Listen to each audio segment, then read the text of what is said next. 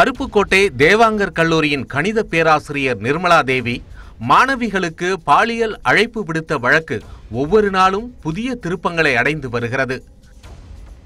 கடந்த சில நாட்களுக்கு முன்பு நிர்மலா தேவி மாணவிகளிடம் பேசிய ஆடியோ சமூக ஊடகங்களில் வைரலாக பரவியது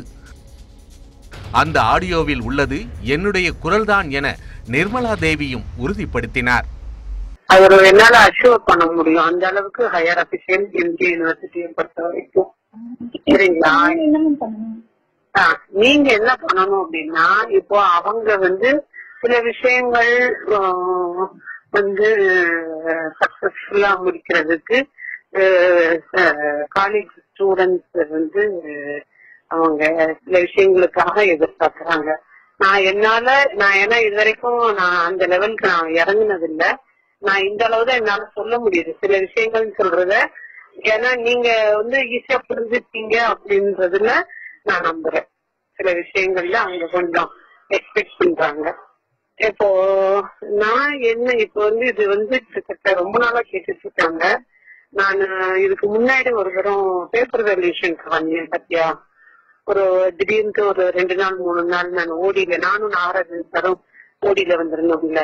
அந்த சந்தர்ப்பத்துல இருந்து என்கிட்ட ரெக்கார்ட் பண்ணி கேட்டாங்க உங்க மார்க்ல கை வைக்காத அளவுக்கு என்னால பண்ண முடியும் பினான்சியலும் நல்ல சப்போர்ட்டிவ் இருக்கும் இதெல்லாம் மேடம் இஷ்டம் இல்ல விட்டுருங்க மேடம் இஷ்டம் இல்லையா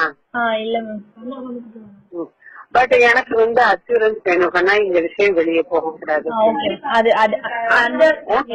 சொல்ல மாட்டோம்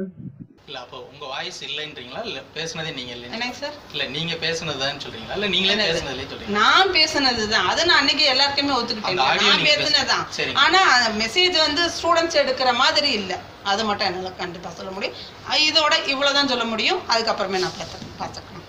நிர்மலா தேவி தான் தவறான நோக்கத்தில் பேசவில்லை எனவும் தான் பேசியது தவறாக புரிந்து கொள்ளப்பட்டதாகவும் விளக்கம் தந்த நிலையில் அவர் மாணவிகளுடன் தொடர்ந்து பேசியதற்கான புதிய ஆதாரங்கள் நியூஸ் எயிட்டீன் தமிழ்நாடு தொலைக்காட்சிக்கு கிடைத்துள்ளன தனது துறையில் படிக்கும் மாணவிகளுடன் பேராசிரியர் நிர்மலா தேவி வாட்ஸ்அப்பில் உரையாடிய ஆதாரங்கள் இவை காவல்துறை விசாரணையில் கைப்பற்றப்பட்ட இந்த ஆதாரங்கள் நிர்மலா தேவி விவகாரத்தில் மேலும் பல சந்தேகங்களை கிளப்புகின்றன மாணவிகளுடன் உடனான வாட்ஸ்அப் உரையாடலில் மதுரை காமராஜர் பல்கலைக்கழகத்திற்கு தான் புத்தாக்க பயிற்சிக்கு செல்வதாக கூறிய நிர்மலா தேவி நாம் ஒரு குழுவாக செயல்பட வேண்டும் உங்கள் எதிர்கால திட்டம் என்ன எதுவாக இருந்தாலும் வெளிப்படையாக சொல்லுங்கள் என பேச்சை தொடங்குகிறார் பிறகு வெற்றிக்கு திறமை மட்டுமே போதாது உடல் ரீதியாகவும் மன ரீதியாகவும் புத்திசாலித்தனமாக செயல்பட வேண்டும் நான் சொல்ல வருவது எழுபத்தி ஐந்து சதவீதம் உங்களுக்கு புரியும் என்று நினைக்கிறேன் இது உங்களுக்கான சிறந்த வாய்ப்பை ஏற்படுத்தி கொடுக்கும் என்று சொல்கிறார் நிர்மலா தேவி இதற்கு அந்த மாணவி எந்த பதிலையும் சொல்லவில்லை இருந்தாலும் நிர்மலா தேவி தொடர்ந்து மாணவிகளை மூலச்செலவை செய்கிறார் ஒரு கட்டத்தில் இதில் விருப்பம் இருந்தால் தினமும் குட் மார்னிங் குட் ஈவினிங் மெசேஜ்களை கேபிட்டல் லெட்டரில் அனுப்புங்கள்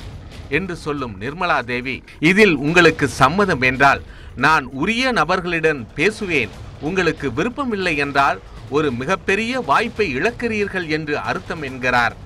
இதற்கும் அந்த மாணவிகள் எந்த பதிலையும் சொல்லவில்லை ஆனாலும் அவர் விடவில்லை எனக்கு உங்கள் வயதில் இரண்டு பெண் குழந்தைகள் இருக்கிறார்கள் அதனால் எல்லாவற்றையும் யோசித்த பிறகுதான் இது குறித்து உங்களிடம் பேசுகிறேன் என்கிறார் மேலும் நான் சொல்வதற்கு ஒப்புக்கொண்டால் படிப்பிலும் தனிப்பட்ட வாழ்க்கையிலும் பொருளாதார ரீதியாக வழிகாட்டுவேன் இதை ரகசியமாக வைத்திருக்க வேண்டியது முக்கியம் என்று வலியுறுத்துகிறார் அத்தோடு நிற்காமல் தான் வாட்ஸ்அப்பில் பகிர்ந்து கொண்ட தகவலை மேலும் சில மாணவிகளுக்கு ரகசியமாக சொல்லும்படியும் அறிவுறுத்துகிறார் இந்த உரையாடலின் ஒரு கட்டத்தில் மாணவிகளிடம் அவர்களின் அழகான தனிப்பட்ட புகைப்படத்தை வாட்ஸ்ஆப்பில் டிபி எனப்படும் முகப்பு புகைப்படமாக வைக்க சொல்கிறார் நிர்மலா தேவி இதையடுத்து கோபமடைந்த ஒரு மாணவி இதை உங்களிடம் இருந்து நான் எதிர்பார்க்கவில்லை எங்க ஃபேமிலிக்கு இது செட் ஆகாது எனவே இது குறித்து என்னிடம் இனிமேல் பேச வேண்டாம் என கராராக சொல்லுகிறார் ஆனால் நிர்மலா தேவி விடவில்லை அதிர்ஷ்டம் எப்போதாவது தான் கதவை தட்டும் இந்த வாய்ப்பை தவறவிட வேண்டாம் என மூளைச்சலவை செய்கிறார் இதற்கு முன்பை விட கடுமையாக பதில் தரும் மாணவி இதையெல்லாம் கேட்டதுக்கே உடம்பெல்லாம் கூசுது நீங்க என்கிட்ட கேட்ட மாதிரி வேறு யாராவது கேட்டிருந்தால் நடக்கிறதே வேற உங்க வயசுக்கும் பதவிக்கும் மரியாதை கொடுத்து அமைதியா பேசுறேன் அதனால நீங்க பேசுறது எல்லாம் சரின்னு நினைச்சுக்காதீங்க என பதில் தருகிறார் அதற்கு பிறகும் கூட விடாமல் துரத்துகிறார் நிர்மலா தேவி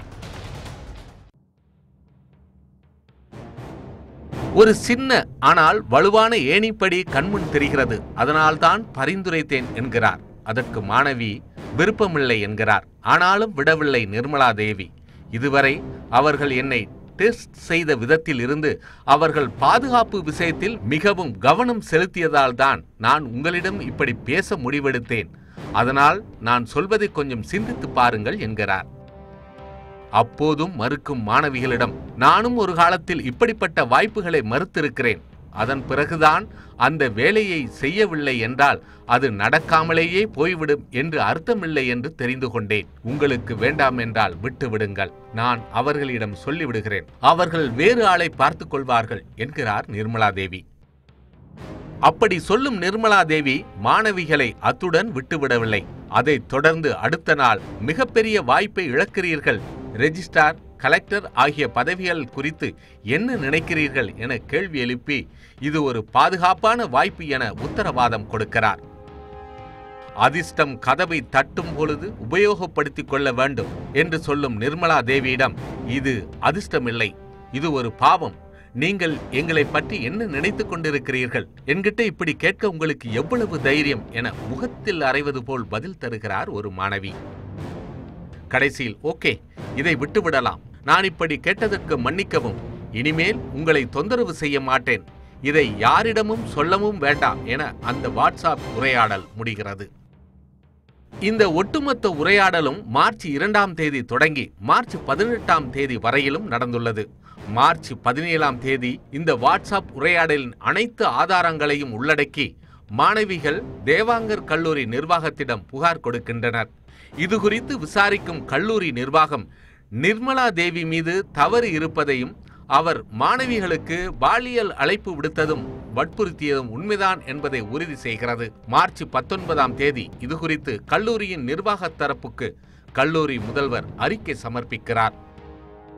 அந்த சமயத்தில் மதுரை காமராஜர் பல்கலைக்கழகத்தின் புத்தாக்க பயிற்சியில் இருந்த நிர்மலா தேவியை அங்கிருந்து வரவழைத்து மார்ச் இருபத்தி ஓராம் தேதி அவரை சஸ்பெண்ட் செய்கிறது கல்லூரி நிர்வாகம் சஸ்பெண்ட் குறித்து கல்வித்துறை இணை இயக்குனர் மண்டல இயக்குனர் இருவருக்கும் தகவல் தெரிவிக்கப்படுகிறது ஆனால் அதன் பிறகு அரசு தரப்பில் இருந்தோ கல்லூரி தரப்பில் இருந்தோ எந்த மேல் நடவடிக்கையும் எடுக்கப்படவில்லை நிர்மலா தேவி மாணவிகளுடன் பேசிய ஆடியோ ஏப்ரல் பதினான்காம் தேதி சமூக ஊடகங்களின் வழியாக கசிந்து பெரும் பரபரப்பு ஏற்பட்டது இதையடுத்து ஏப்ரல் பதினாறாம் தேதி கல்லூரி தரப்பிலிருந்து அருப்புக்கோட்டை காவல் நிலையத்தில் புகார் செய்யப்படுகிறது மூன்று பிரிவுகளில் வழக்கு பதிவு செய்த போலீசார் ஏப்ரல் பதினேழாம் தேதி அவரை கைது செய்தனர் நிர்மலா தேவி மாணவிகளுக்கு பாலியல் வலைவிரித்த விவகாரத்தில் முதலில் ஆடியோ ஆதாரம் வெளியானது இப்போது அவர் மாணவிகளுடன் உரையாடிய வாட்ஸ்அப் ஆதாரங்களும் கிடைத்துள்ளன நாளுக்கு நாள் திடீர் திருப்பங்கள் அதிரடிகள் என மாறி வரும் நிர்மலா தேவி வழக்கில் அடுத்தது என்ன விதமான ஆதாரங்கள் வெளியாகும் இதில் வேறு யார் யாரெல்லாம் சம்பந்தப்பட்டிருக்கிறார்கள் என்பதுதான் இப்போது நாம் கண்முன்னே இருக்கும் அதிர்ச்சிகரமான கேள்விகள்